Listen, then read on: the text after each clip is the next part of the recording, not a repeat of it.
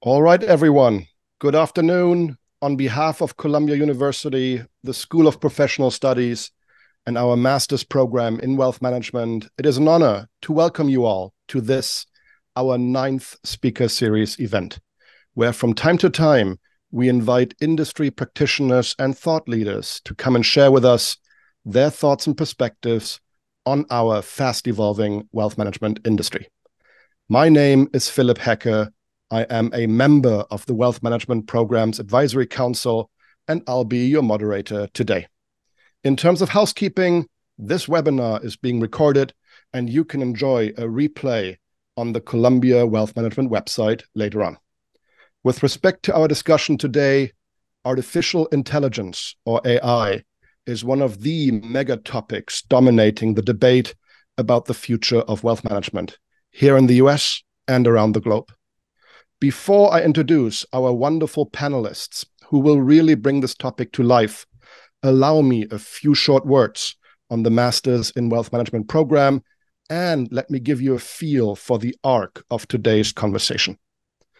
Columbia University's Masters in Wealth Management is a 16 month part time online program that prepares experienced and aspiring wealth management professionals to meet the disruptive challenges of today's industry.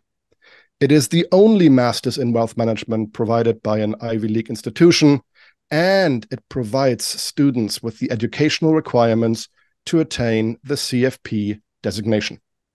You can learn more by typing Columbia University and Wealth Management into a web browser of your choice, or you can join us for one of our upcoming online information sessions either on November 1st or December 7th. And should you want to join us in person on the beautiful campus of Columbia University in New York City, you can do so on November 15th. You can find more information about these events online. With respect to the arc of today's conversation, first we'll have a panel discussion getting into our guests' thoughts on AI and how it already has and will continue to impact the wealth management industry. Towards the end, we'll open it up for questions from our students and faculty. So everybody out there on the lines, as we go along, please feel free to type your questions into the Q&A functionality at the bottom of your page, and we'll feed them to our panelists later on. And with that, it is my great privilege and pleasure to introduce our very special guests for today who will shed light on this important topic from various angles. Please join me in welcoming, first off, Yelena Melamed, co founder and head of product at Catchlight, an innovative lead gen tool coming out of Fidelity Labs up in Boston. Welcome, Yelena. Nice to be here. Thank you. And dialing in from Texas, we have Robert Kirk, founder and CEO of InterGen Data, which is at the forefront of predicting important life events for the wealth and insurance industries. Howdy, Robert. Good morning to everybody. Thank you. From Boulder, Colorado, we are also joined by Nathan Stevenson, founder and CEO of Forward Lane, a next best action engine in the wealth management space. Hey there, Nathan. Thanks for having me, Philip. Good to be here. Last, not least, we are also thrilled to have Matthias Kuhlmey with us. Matthias is a senior lecturer with the Wealth Management Program, and he teaches our Disruption in Wealth Management course. Welcome, Matthias. You are on mute, my friend. Well, artificial intelligence, you see, I'm failing on the second word. Honored to be here. Thank you, Philip. We're all very human. And with that, let's humanize you even further. Some icebreakers are in order. A speed round just to get you all to know, to, to get to know you all a little better. Let's have the cadence always be the same. Robert, Yelena, Nathan, wrapped up by Matthias. Robert, first off, your favorite books these days? On mute as well. Yes, there you go again, a human. So first uh, three books, probably most that I read, um, you're going to say uh, the Bible, uh, Think and Grow Rich, and then the Singularity is Near. Excellent. Um, I'd say I'd pick one uh, for me. Um, big fan of history, historical fiction, Kite Runner by Khaled Hosseini. Wonderful. For me, um, I'm constantly reading like uh, AI papers on uh, arXiv, which actually started by Columbia University. But the number one book that I am reading right now is called The Coming Wave by Mustafa Suleyman, who is the co-founder of DeepMind. Highly recommend it. And uh, Inflection.ai, which is also co-founded by uh, Reid Hoffman, the founder of LinkedIn. Excellent. Matthias, what do you have to add? Yeah, wrapping it up right now, I'm fascinated by Journey to the East. That is a short novel written by Hermann Hesse already in 1932. And it's interesting because the book is said to have served as the inspiration for Robert Greenleaf's model on servant leadership. Hmm. Interesting suggestions from all of you. Next one, real quick. If you could invite three guests over for dinner, dead or alive, who would it be, Robert? Uh, so all mine are dead. I would say it this way: first would be uh, Jesus, then would be Nikolai Tesla, and then Ada Lovelace. A wonderful mix, Yelena. I'll go with two: um, Anthony Bourdain and my grandmother. I'll invite myself as the third. That could be fun. Nathan. um, mine are quite a quite a mix. Uh, my first one is Mahatma Gandhi. Uh, my second is Thomas Jefferson, and my third is Mustafa Suleyman. there we go, Matthias. I stay with family. My grandfather Paul, who died when my father was three, my great grandmother on my mother's side, we're missing a lot of information on that side of the family. And then a much older version of myself, as we can be experimental here. And I know that this dinner will seriously mess with the space time continuum, according to Back to the Future. there we go. There we go. But maybe that's a flexible, foldable thing. Let's push the boundaries there. Oh, right. Last speed round icebreaker question. And Nathan, you shared some of it already what are our, your favorite resources and places to learn about AI to stay current on that front? What resources can you recommend? So I would start with uh, Peter Diamandis's Abundance Insider. Uh, secondly, I'd go to Weights and Biases, and especially the two minute papers with Dr. Jonah. That's a good one. I like the two minute papers, Robert. Um, I'd say for me, because we're in such a rapidly moving space with a lot of exciting things happening all the time, um, I'm a big fan of podcasts. Uh, also, a fun way to spend your commute. Um, A16Z, so Andreessen Horowitz podcasts are incredible on AI and Web3. Um, TWIML and AI podcasts are also great. I have a number of favorites. Can share some additional ones if there's interest. Wonderful. Nathan, in addition to the papers you mentioned before, any other key resource? Yeah, there's um, um so I read the information, which is a kind of uh, a Silicon Valley uh, based news agency.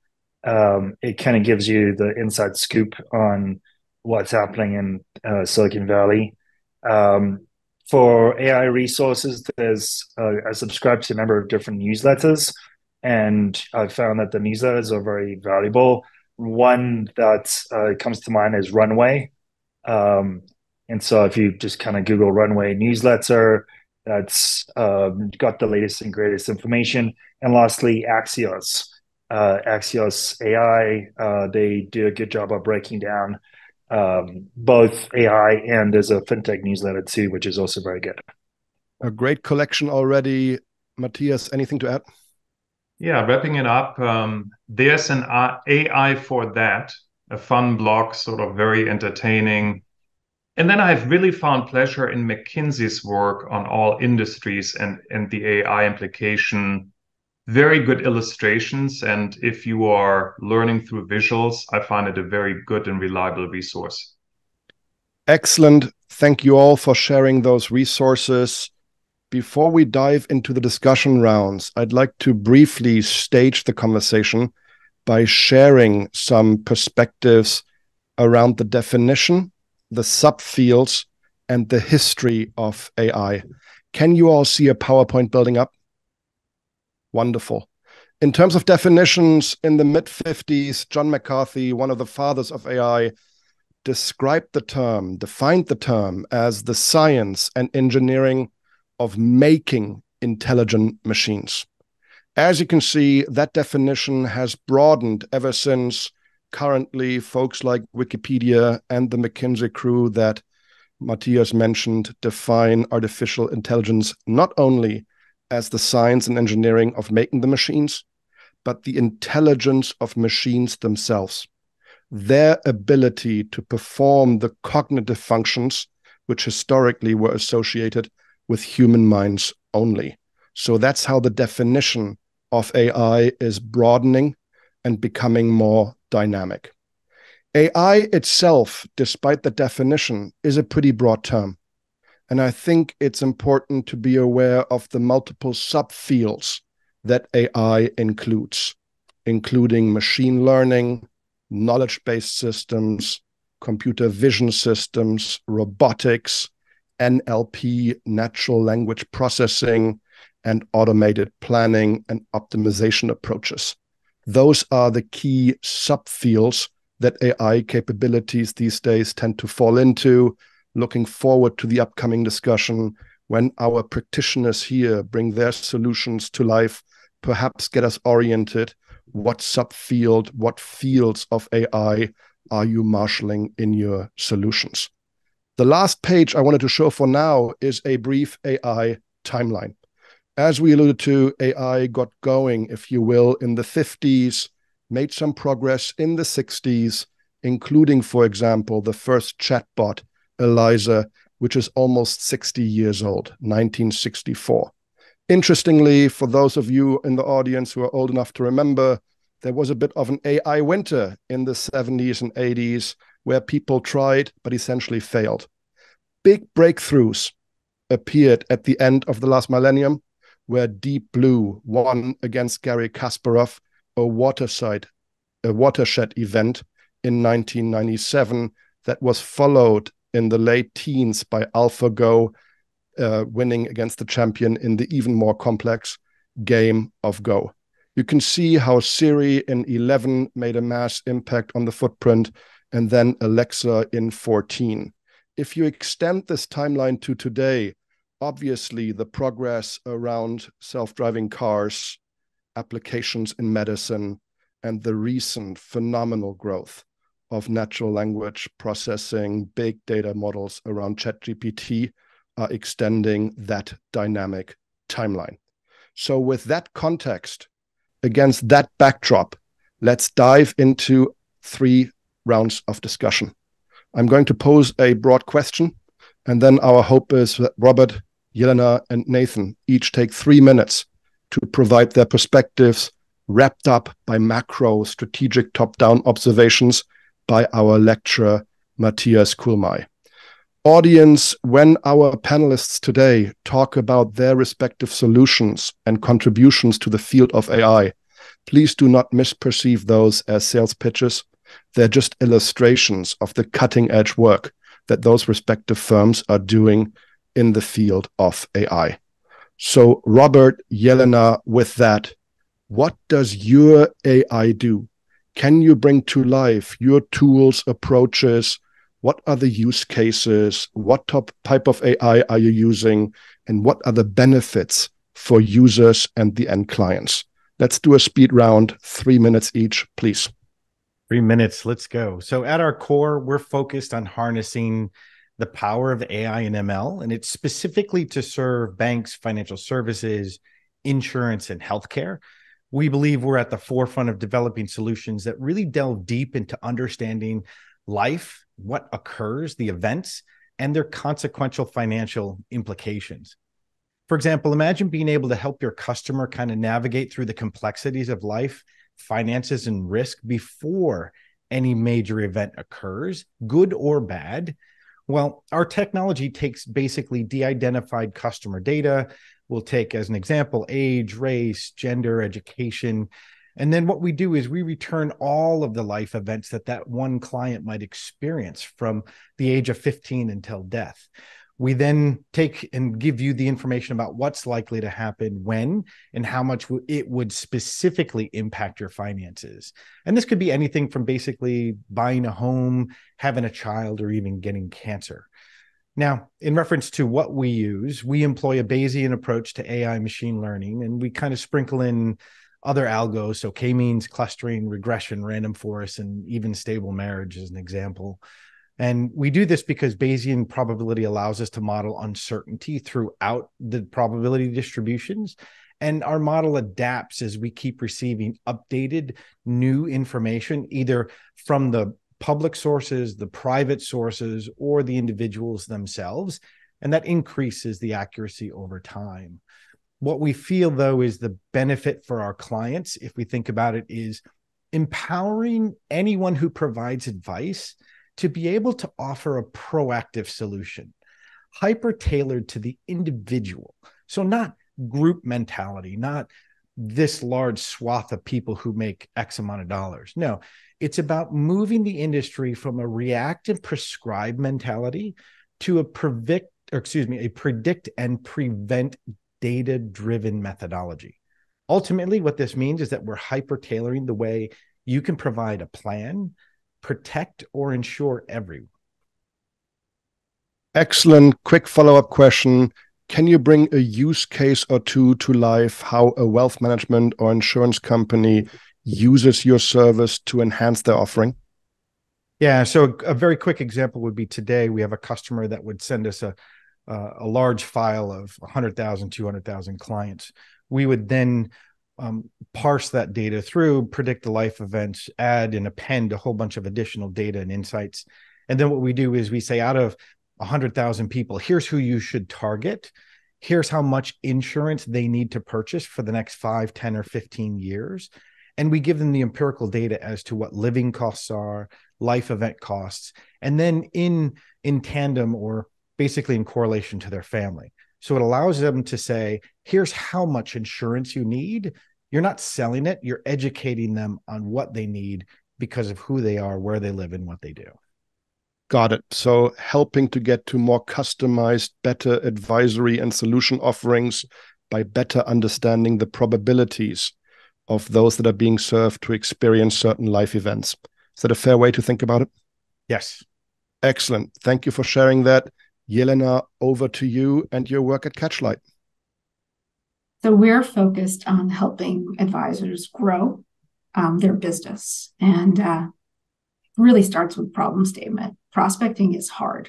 Uh, it lacks focus, efficiency, and the key thing that we all, as consumers, expect, which is personalization.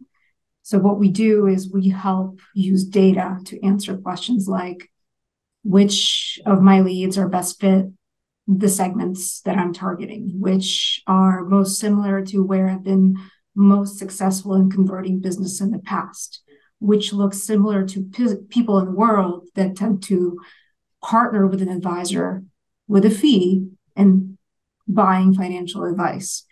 And what are the pathways to use that same data to personalize engagement to the needs of the lead coming from a position of advisor who is focused on a particular niche and a particular service they provide. So, how do we do that? Um, we start with um, very little information on those um, discrete prospects uh, that advisors already have. We then mine government record data and publicly disclosed data, so nothing of scraping uh, nature, um, to really build profiles. And then we use AI in three ways. One is kind of collecting that data to predict and score advice appetite. It's a machine learn model. Um, in our case, it's a random forest model. Um, we then um, also layer in other predictions, such as um, a model around uh, characteristics like investable assets, which is an important qualitative uh, qualifier in terms of advisory business. Um, and then we also leverage NLP, so large language models, to help mine that data in creating personalized engagements um, that advisors can use when they're reaching out to an individual or a segment. Excellent. So, at its core, it is helping advisors with the key task of prospecting and prospect converting by providing more and better intelligence on those prospects they're pursuing. Is that the way to think about it? You got it. Wonderful. Nathan, Forward Lane, what is it you do? Sure. So Forward Lane is uh, focused on making uh, insights, creating insights, and using insights easier uh, for wealth managers. So, what does it mean? Uh, Forward Lane started with the notion that uh, personalized, tailored advice is only really used to only be available to the ultra high net worth.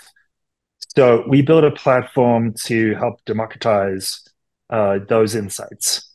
And um, you know, we work with partners like uh, InterGen Data and Bento Engine um, and others to aggregate structured and unstructured data um, around the holistic picture uh, of an advisor's daily workflow. So that's uh, looking at the uh, the portfolio, the financial plan, uh, at news, at research.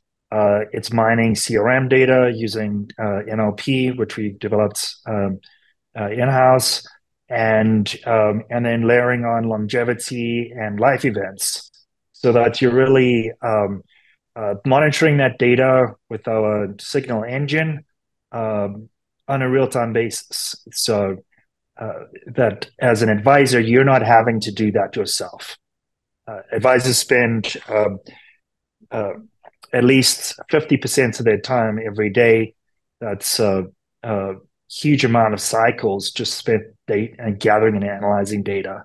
We want to give those cycles back through decision making. And so we built a series of tool sets around that so that it's easier to create the insights from the combination of this data. It's easier to deliver them into Salesforce and into the workflow. And it's easy to take action on them with next best actions, which are recommended based on the types of insights. So um, so that's um, and then our new platform emerge is really taking that personalization to another level where we can effectively inject those insights um, into a large language model. We work with Anthropic, um, and what that enables us to do is actually um, create a client engagement plan and uh, specific communications and recommendations as to how to engage that specific clients. So it's much more about optimizing daily workflow, increasing productivity, and giving you the bird's eye view of all that data um, and giving it to you effectively on demand. Got it. So you are helping advisors get to the next best action, the next best activity by mining various data pools for important signals that indicate a need or opportunity. Got exactly. it.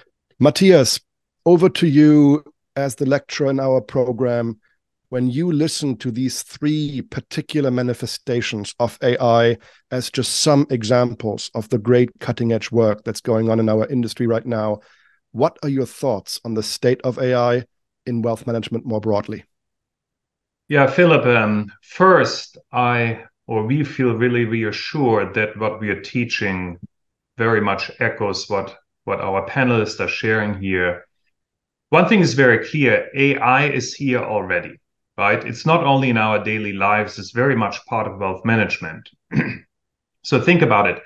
Nearly two thirds of wealth management firms are using AI today to drive process optimization. One third, still a high number, right? Is engaging AI in a high number of use cases, including human decision optimization and so on.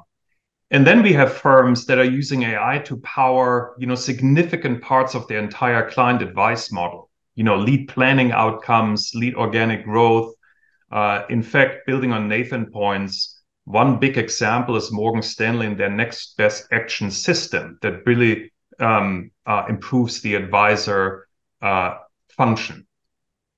You know what's fascinating when we look back at our academic focus here?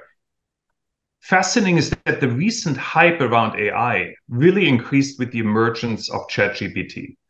And we are now leading an industry debate that is way ahead of status quo. And we are not concerned about artificial intelligence per se, but super intelligence, meaning AI taking our jobs, undermining forms of society, and so on. And look, frankly speaking, this is where we, where I am skeptical. It is not dissimilar to the debate we led as an industry when robo advisors first emerged, or think, you know, recently of digital assets. You know, the end of banks and money or sovereign currency was a flavor of discussion. And when we think about it, also speaking in terms of our course, I'm very much in favor of disruption and innovation, but we have to be clear about sort of the monsters we are fighting here.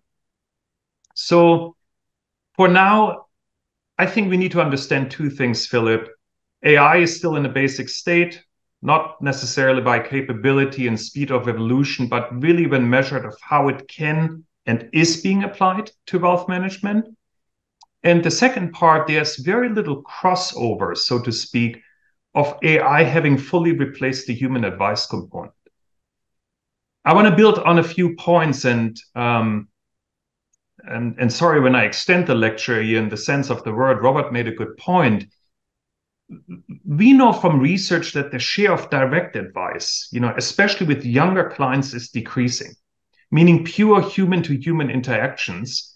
And on the other side, the engagement with bionic applications is increasing, meaning how we engage between machine and human.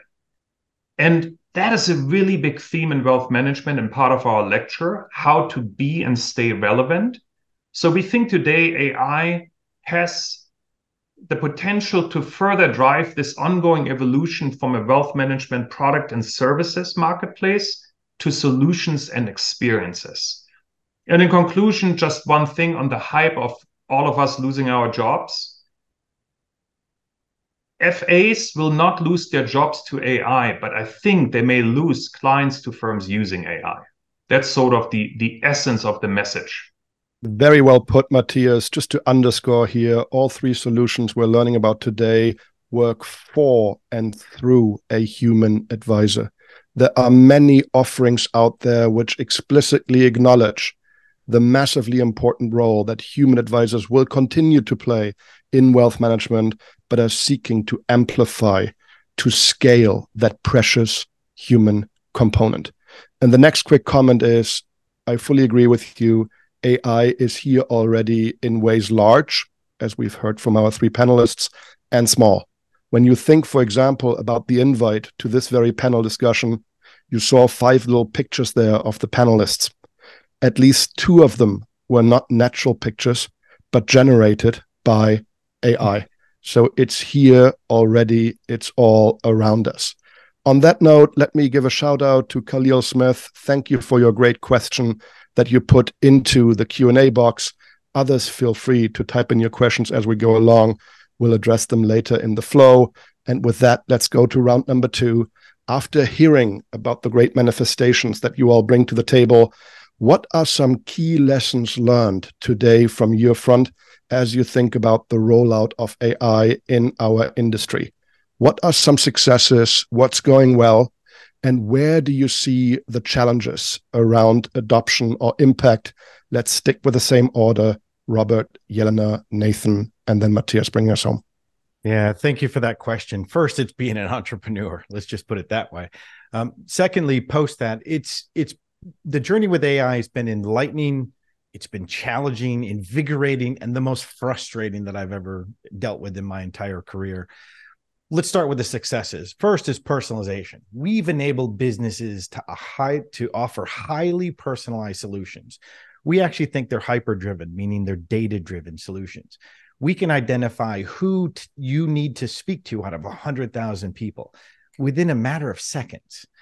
Efficiency, taking the speed and accuracy to which we can predict life events and then append data to give you insights you've never known about a client before previously that's moved from a process that took weeks to days to now two seconds for a hundred thousand insights that we can generate. Integration with systems. That's another success where we see our compatibility with different systems using Azure, using Snowflake, but then being able to integrate it with marketing tools, with even guys like Nathan and Forward Lane. And what we can do with that has just been a tremendous success. But let's think about the challenges. Data quality garbage in, garbage out. Look, the accuracy of any prediction is only as good as the data that's fed into the system. Not only does it have to be um, high quality, it needs to be clean. But the other side to that is do they even collect the data? We've worked with firms that don't have, you would think they know a lot about their customers, and they really don't. Hmm. The second I would probably say is adoption resistance. It's like any disruptive technology. There's always some resistance. Traditionalists in wealth management they tend to be skeptical and they require us to invest in education and demonstrating our AI's capabilities. And I'm just going to say this openly, but not meant towards any particular firm. We had one firm that asked me, Well, you say you're at a 94% accuracy rate on your Bayesian methodology. Why isn't it 95 or 96? And my first response in my head, I didn't say it, which was, Well, let me ask you a question. In all your financial plans, are you 94% accurate? Well, the answer is no. So that's why they always do all these rebalancing and everything. So if you look at everything that was developed over the past 20 years for financial plans, they're all wrong. They're all wrong. Now, if you take that and then you add the last piece, which is really computational costs, when I look at it from this perspective, Bayesian approaches are powerful, but they can be intensive. So we have to balance the need for real time predictions and what the customer believes is AI versus what they actually trying to do. You don't need to be real time predictive to find out when somebody's pregnant. That doesn't mean anything. What means something is how much are they going to spend? Are they spending more than they make? Or are they spending less and can save and can invest? Those are probably all of those wrapped up together. Thank you. Excellent. I would hypothesize that many of the dynamics that you surfaced hold true and manifest themselves for our other panelists as well. So perhaps let's focus on where you deviate, where you can add to Robert's perspectives. So I will say I completely agree with a lot of the observations that Robert made. Um, I'll I'll add the following: um, we see ourselves as a data engine powering wherever the advisor ecosystem what, whatever it looks like. Um, and in that context, probably a challenging and an interesting solution that we've been very focused on over the last 18 months is developing strong feedback loops so that it is not a static experience. It is an ongoing, very live retraining, consuming data therein, and powering the data, powering those insights for advisors wherever they're doing their business development from. I'll also add a theme of where we play. There's a huge opportunity for advisors, right? Massive amount of generational wealth transfer. We estimate about 50% of all assets will change hands over the next 10 years. And thinking about from an opportunity perspective, um, we see advisors going into new markets where they haven't prospected before. And some of the things that we've had to solve for is how do you evaluate someone who is high earning, not rich yet, versus someone who is more mature in the developing of their um, asset pool? And how do advisors really compare them apples to apples? And so we've built solutions for that, like an algorithm tying in um, what we know about the time horizon of a consumer um, and a number of assumptions like fees, but to really create a projected client revenue view so that you can do apples to apples types of comparisons. Not something that I immediately thought that we'd be solving, but a really interesting opportunity for us to focus on. I think lastly, I'd add insights are good.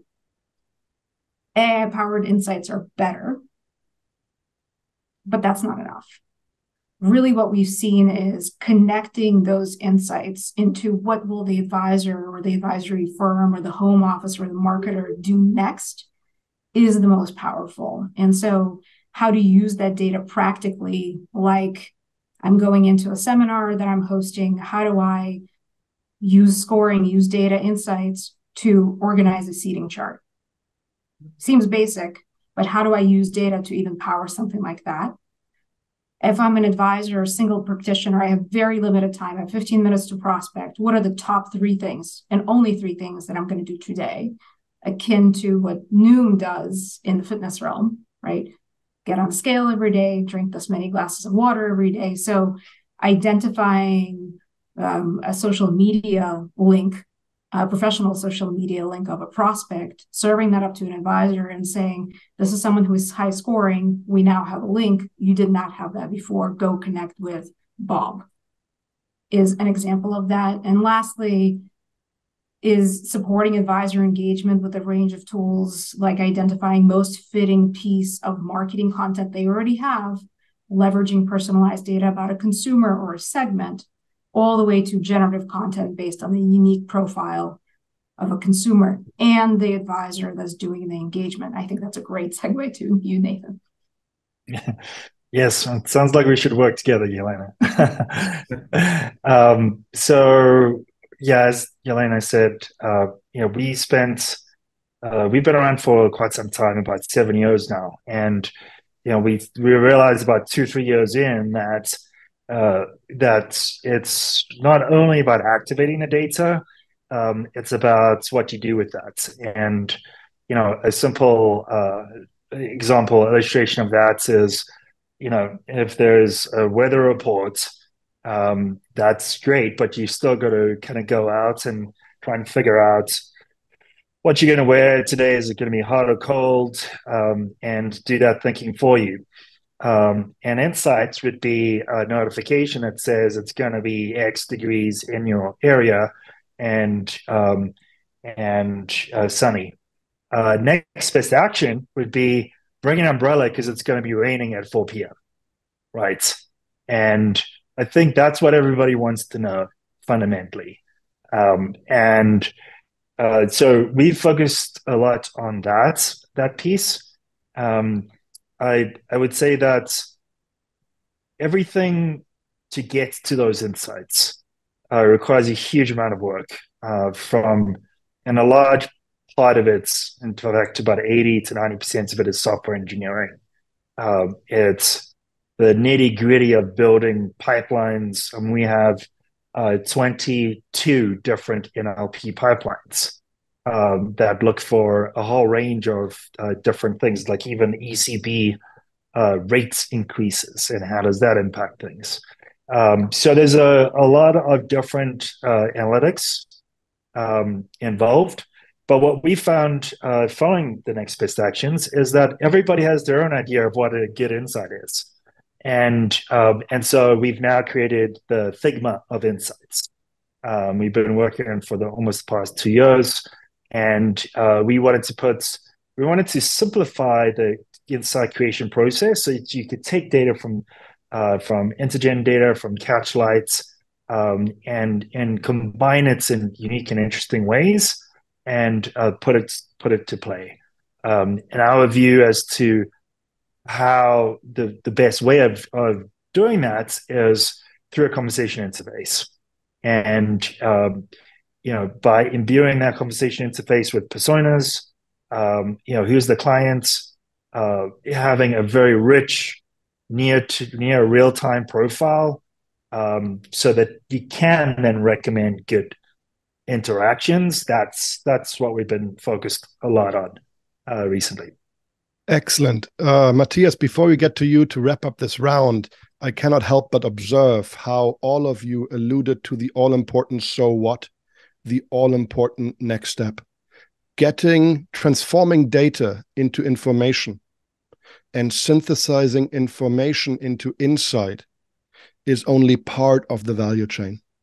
That insight needs to lead to recommendations, and those recommendations need to need to action to complete the data value chain, if you will. And I think it's quite heartening that all of you who are at the forefront at the signal data piece very explicitly think through the so what, what happens downstream from your great work. That's for the benefit of everyone. Matthias, for you to bring us home, the theme of intergenerational wealth transfer of the next generation of investors has, you know, popped up in here. What are your thoughts on the changes in consumer dynamics, the needs and opportunities that the next wave of investors will provide. Yes, Philip, and thank you to the panelists here. Um, I was scratching my head what is left to offer here, you know, um, in terms of the discussion. But I think the AI discussion is often led in absence of actually the clients we want to attract and serve. It's a very important aspect because next to AI is the human element. So let me offer three things here to further the conversation. There's the aspect of client satisfaction first. There's also the aspect of client retention, especially when we sort of look at that younger generation of clients that want to engage with us. And then let's also talk about talent as an industry and how we think about our talent. So, client satisfaction, from what we know, is very closely linked to a firm's digital capabilities. And it is estimated that about 80% of clients who view their wealth firm as a digital leader are satisfied with their firm. And I think there's some relevance when you look at a younger generation.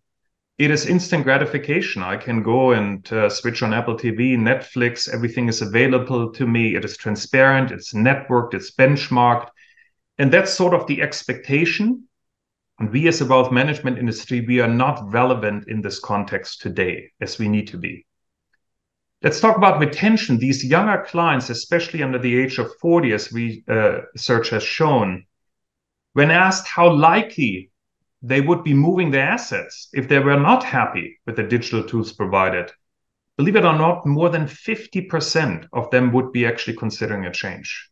So here we're talking about the next best action to bring money in, but there's also the next best action of how do we actually keep it and stay relevant to this group. And I think there is a significant risk of closing this gap between you know being relevant and not relevant. Let me go back to talent. You know i said in the beginning we can lead a debate if ai will take our jobs but the other must have related debate is how do we need to change and support talent in our industry to live with ai so what is if i have this grandiose output where do i bring it? And this in short is where the human element comes in. Robert said it. We have an ability to curate, we have an ability to hyper personalize our products and services while allowing AI to power and support our activities and engagement platforms. And to a large degree, we also need to recognize we are still a cookie cutter industry. And that will be the core issue that a lot of the things we do are meant to be at scale and that will be a challenge, but a challenge that AI is very worthy to sort of support in a change. Personalization and purpose are the keywords that I want to leave here. Excellent. Thank you for that, Matthias. Before we get to the questions and keep on submitting your great questions, please, let's do a speed round number three on future implications. This one, we're going to focus on Robert, Yelena, and Nathan. My ask to you is where do you see AI going in wealth management? What opportunities and risks do you see?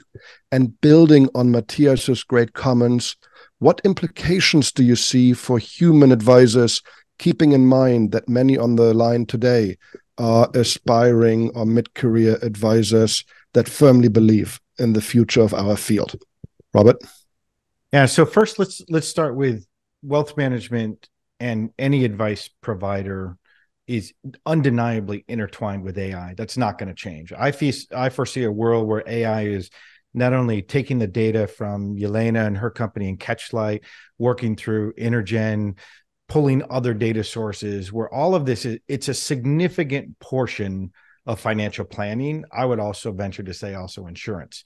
This is especially important because we have 75 million boomers that are about to be over 65 by 2030 the older generations are going to need insurance and they're going to need health care but they're also going to need help in divesting those assets to the next generations. And when they inherit that what better way to actually forecast what's likely to happen to them?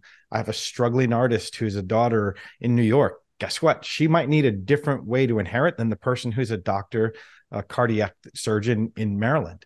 Um, but therein lies the opportunities and risks right? So they're vast from an opportunistic standpoint. hyper tailoring is going to be the way we go. Individualized insurance, individualized um, health, individualized wealth. That's where we're heading. Real time risk assessments is going to also power that. And I kind of take a quote from Stan Lee and Spider Man and say, you know, with great power comes great responsibility. And it's, I don't think it's a risk in data privacy. I think we'll get there to that point. Plus, you just don't realize how much of your own data is out there.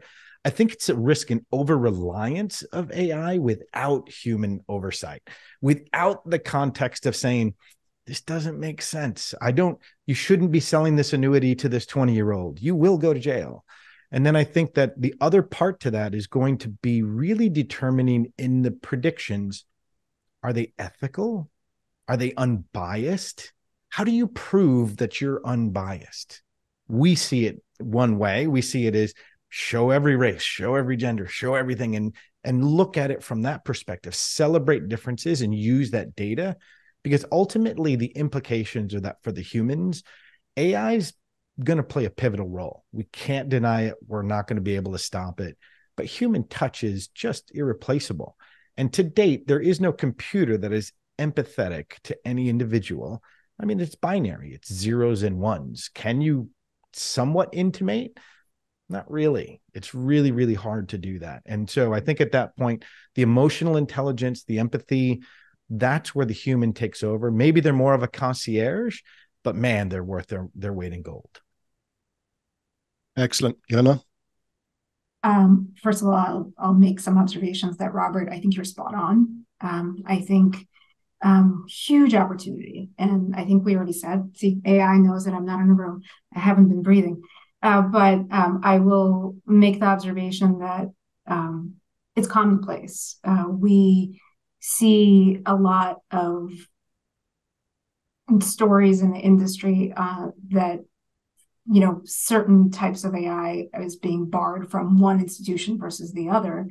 Um, what's interesting is the applications they're already using, even their mail client, is already introducing AI componentry, um, including ones that they're directly banning. So it's um, it's not a world to fight; it's a world to embrace. Um, I think um, what's great there is it's a great component of your toolkit, a human toolkit, to be able to provide or see what the naked eye just can't see. Um, the insights across big data um, that will make you more efficient, that will make you more personalized in your outreach. Um, and that matters. And I think it allows an advisor or advisory firm to stand out when they're competing both for new business, but um, to Matthias's earlier point, to retain their existing business because the consumers that we're also struggling to kind of keep inside of the wealth management umbrella and, and coddle in terms of relationships and provide them that version of advice that we think is critical to their success is also the consumer that may later download an app, call it ABC, to be able to double check have a second opinion of whether or not their advisor is doing their job, at least according to that particular app. So the way we tend to see it is an AI is a critical component to compete and embrace the opportunity that the data provides and the insights provide. It's also a good defensive mechanism. Let's say you're not looking to grow and some of the capabilities I described in Catchlight um, are not critical for you being able to retain retain is maybe not critical to you because you're maturing that business to another advisor or to an M&A activity, um, some sort of a succession event. But being um, responsible for your clients and defending them against things like financial crime, AI will become a critical component there as well. But I will also echo what Robert and I think Philip you said in the past. It's advice is based on trust. It is a relationship business. No piece of machinery will independently earn it. And even if I will download an app and get a second opinion, I will not bet on an app without a human in the middle so that I know who to pick up the phone and call and ask questions about when the market is not doing so well or something is happening in my family or some version of that. Um, I think that's how we see it. And I think the last risk piece that I'll touch on is getting an AI or buying an AI and using it as a component of your toolkit Um, it, AI needs to come from trusted brands. What does that mean? It means brands that will invest into back testing, retraining, um, feedback loops, bias testing, third party evaluations of both the data and the AI that's built on top of that data. That's critical so that you know that the outcomes and outputs, even though they're human advised at the end, are based on something you can stand behind.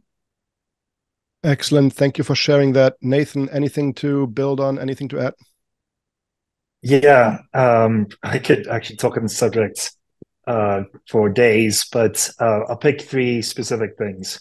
Uh, the first is uh, I got to uh, to join a talk last week, um, which uh, had the CEO of GitHub, Thomas uh, Dohmke, uh, talking about co-pilots uh, for developers, and I think that's uh, analogy to how software developers are, are now going to be automating 80 to 90 percent of their code um, is really particularly relevant for wealth management.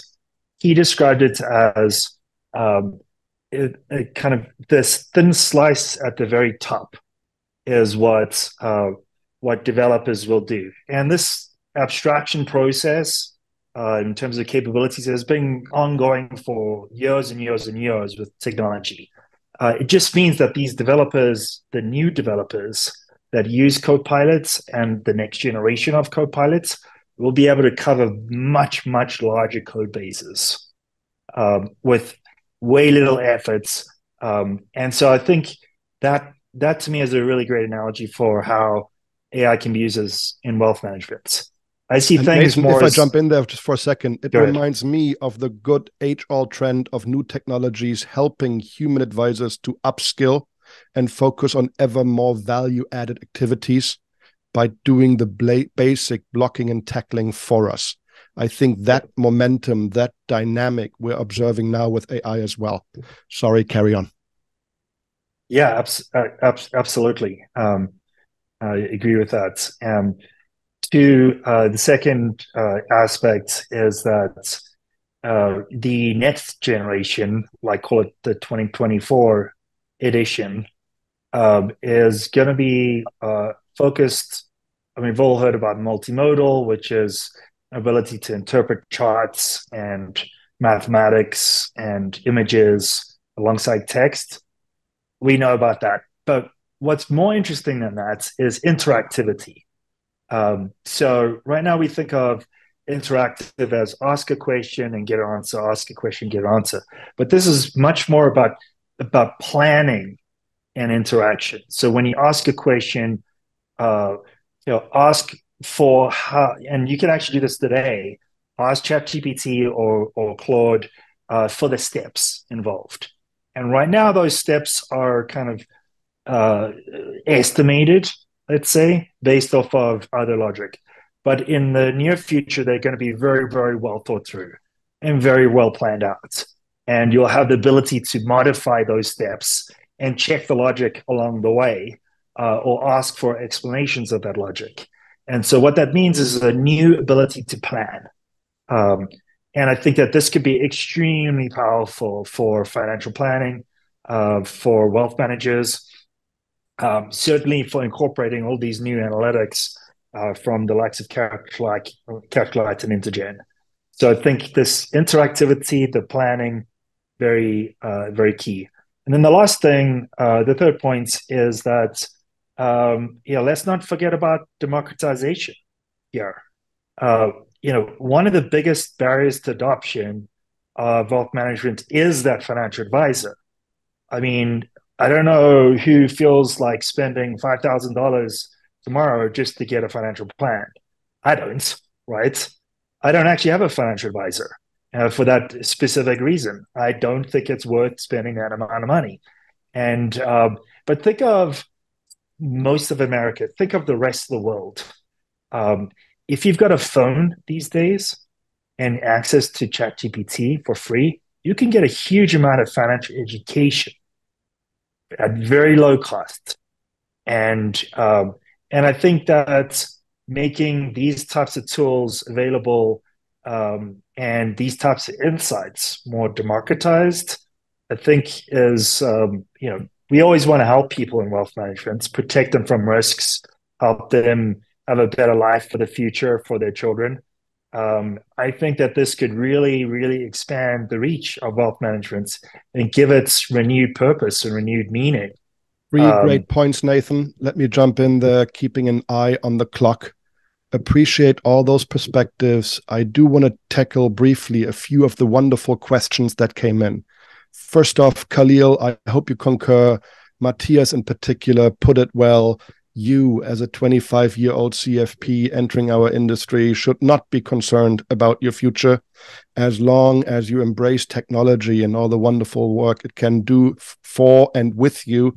It should remain a bright one. I'm going to articulate a question from Tom around compliance and governance consideration that I thought was a very interesting one, and hopefully one of you dares to provide a view. Tom, I'm paraphrasing, but you're pointing out that compliance and appropriate governance of emerging AI capabilities is key to keeping everybody safe and facilitating a healthy growth and adoption of all the positives it can bring to the table. Yes, regulators might be late, might be learning themselves. Let's acknowledge that. My question is to the audience have you seen good governance approaches that you want to you know make sure others are aware of what are your thoughts and recommendations around the ethics, the governance, the compliance around AI? Any takers? I'll jump in real quickly. So we, in our predictions of our life events, so one of the things that we did is we actually went directly to the SEC. My corporate world, I dealt with regulators for many years, had to supply them with sets of data. The good thing is that the government, even though it takes a long time to get anything done, will actually try to list out what is or is not within their compliance and regulation. It is listed out, and the the PII laws, the the best interest laws, they're really trying to focus on protecting the little guy. So the more data you can provide around the little guy and why or why something is not pertinent to them is really helpful. So when we actually used when we spoke to the SEC, we actually used their regulation and their clauses and their words to say, you said this. If we did this, does that support it in your mind or does it not support it? The the real governance is going to be made up from everyone, and we're going to have to follow that. But you have to participate, which means you have to have a compliance first mentality. Well, technically, client first, compliance second. Then take that data, take what you're doing to the regulators ask them. They're willing to sit and talk. They want you to do this because they know they're not at the forefront. And they also understand that they can't implement a, a large swath of regulation without hearing from people. And that's what they want to do. Excellent. Before we wrap, one more question coming from the audience that I want to make sure we address, and that's around training. Advisor, employee, middle, back office training on these emerging technologies. Again, key to success to making this work for everybody in the short, mid, and long term. Do you have any perspectives, best practices, thoughts on training? I think with regard to the product experience, which is how I'm interpreting the question, um, it's critical. It has to be simple. It has to work in the ecosystem where advisors already do the work. And if it is playing independently, it needs to be super simple. There's no, um, it's it's incredible how many conversations I've had with advisors throughout my career about, well, this is very difficult to integrate, or this is very difficult to do, or a whole collection of that. And it starts with advisors have little time. As service providers, we need to embrace that and figure out how to create products, AI or otherwise, that will ha- tackle that head on. And so using a tool should be as basic as I think about it as helping a someone find a dining experience. You, how do you make prospecting as simple as finding, you know, what type of a dining experience you like, which uh, are your best bets, and how to think about what to order from the menu. I mean, that's that's a terrible analogy in some cases, but Robert. No, I, I was going to say you're spot on, one hundred percent speak to them like uh, you're they're your five year old child. You mm. you don't talk to them about homomorphic algorithms and talk to them about you know you don't need to go there. You need how are we going to help? They just want like you said they have little time. How can you help them? I would uh, just uh, last last point. I think that this is uh, an excellent new uh, course that Matthias and Philip will be putting together as part of the next Columbia program on how to use AI in the workplace.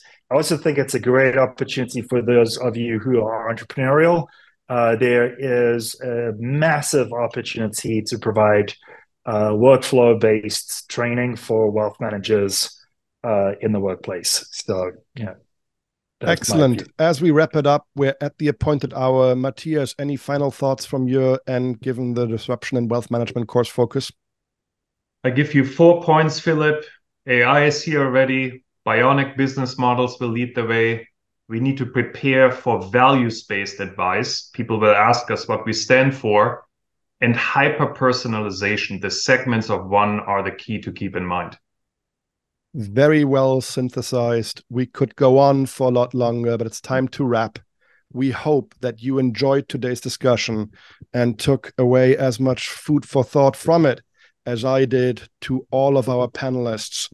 It's been a true pleasure. Thank you on behalf of Columbia University for your time, wisdom, and perspectives. Consider yourself a friend of Columbia's going forward. Next time in your, you're in New York City, swing by our beautiful campus. With that, everybody have a great rest of the day. Thank you. Thank you.